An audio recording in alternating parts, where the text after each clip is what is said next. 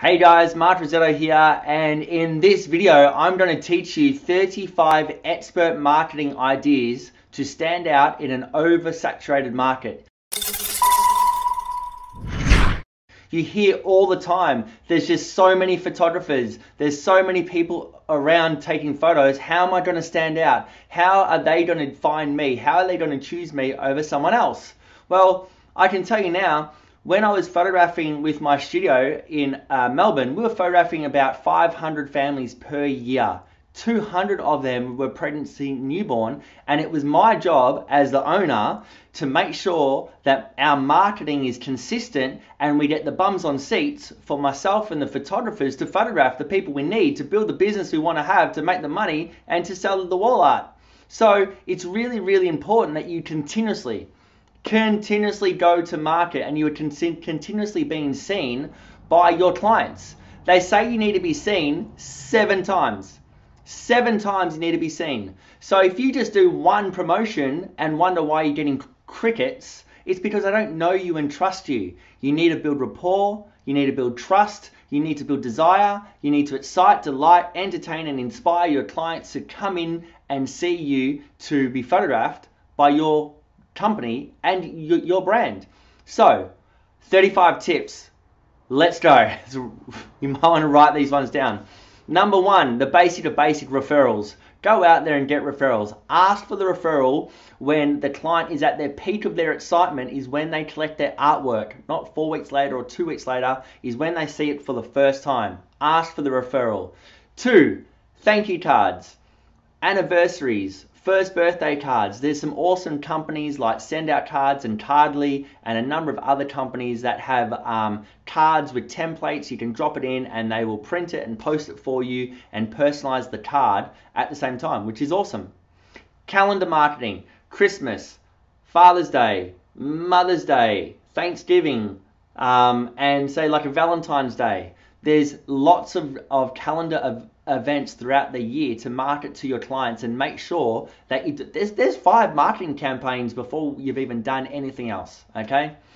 Facebook strategies. Make sure that you're being seen on Facebook. But with your Facebook posting content, just be careful. Don't just go pretty picture, pretty picture, pretty picture, pretty picture. We know you take pretty pictures. Excite, delight, and entertain your clients. Show behind the scenes. Show picking up artwork. Show finished products. Show, um, get them talking about, do a poll on whether you prefer color or black and white. Just find ways to entertain your clients and get them interested about you and your photography business and the brand. So 80% is to excite, delight, and entertain, and 20% is the sales uh, message for Mother's Day, Father's Day, Christmas, which is a buy now, offer. Third party marketing or alliance kind of marketing. You buy a car, you get a gift voucher. You build a house, you get a gift voucher. You build a kitchen, you get a gift voucher. You buy, um, you've been to that hairdresser so many times, you're a VIP, so now you get a gift voucher. So align yourself with brands with the same price and, and kind of value and quality that you offer. Kinders, stools, fetes and fairs as auction items. When you do an auction item, um, just just just make sure it's not a raffle item. Raffles are a massive no-no. Your photography is worth a value. Make sure that you have a minimum spend. If it's a $500 gift voucher on the silent auction or the live auction item, it's at least you know $100 or something. People need to value of photography from the very start. Okay, repeat clients? Are you retarget marketing your clients to be repeat clients so they come in and do it all over again when they have the next child or when they're growing up or when their family's in town or when it's a generation shoot? Make sure you're continuously marketing to your previous clients because it's easier to market to the clients that already know you and love you than continuously going out and finding new ones. Okay? The other one is SEO. Is your website SEO'd? Can you be found? A really fantastic platform is Yoast SEO. It's brilliant. Look it up. WordPress users especially. Then you get on to like email series do you have an email series that your clients sign up not for a newsletter because no one's going to subscribe to a newsletter that they sign up for a, a, um, a guide like an ebook and then they get put into your email sequence where you're constantly educating your clients on what you do Um, expos, expos for portraits and also weddings. This is a great way to get a massive influx of clients into your business. They're expensive, so be careful. Do it properly. VIP Facebook groups, they're good, but you have to really nurture them. They're fantastic for boudoir. Boudoir photography, I'd highly recommend that. Networking, get out and meet people. Go and shake some hands. Give away some business cards. You know, get in the face of people, especially if you're doing personal branding. Join a BNI group. Join these networking groups. There's heaps around town. Wedding anniversary card, same as a thank you card. Schedule a wedding anniversary card one year after the wedding day. Why is that? Because the one year anniversary is paper. So why not send them a piece of paper in a card to say to say um, happy anniversary? Okay, mini sessions. Christmas is very common. Mini sessions. Why not do a pop up booth mini session for Halloween? if you've got a home studio that opens up to your kind of driveway in your front yard, do a spooky uh, setup just for shits and giggles and fun and and do it as a community and connection thing not to make the money. They come in all dressed up. You take the photos you put the photos up on facebook and they like your page and take the photos and link themselves. Social media be careful. When we talk about social media make sure that you continuously have social media. Oh, like no, what am I trying to say? Make sure that your so, your social media is rented space.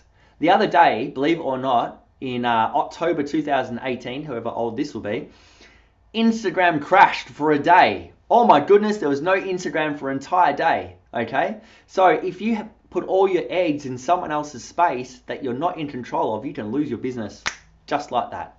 Alrighty, what else do we have? We have um, Street of the Week.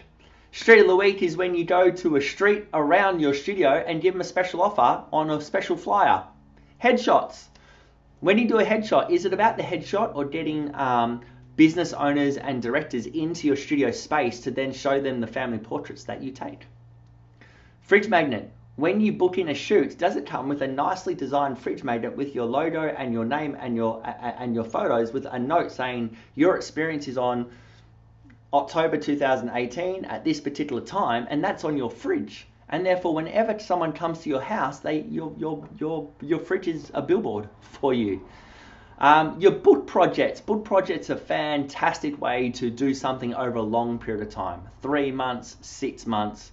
But if you are doing a book project, commit to it and finish the book educational videos just like this one do videos because this way you can connect with your clients and chat and say today and they get to know you and your personality talk about what to wear what to bring finished products how to book in your shoot different locations get on camera people business to business relationships specifically for photographers there was a photographer down the road from me which was literally 100 meters down the road okay but they did outdoor portraits and not studio we did studio portraits, not outdoor. So we used to refer each other all the time.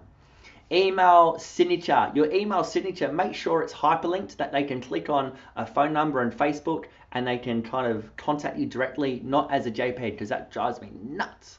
Okay, text message marketing. We all know that when you send an email, you might get 50% people opening, and that'd be a really good day. But if you do text message marketing, you know that everyone will see your text uh, message.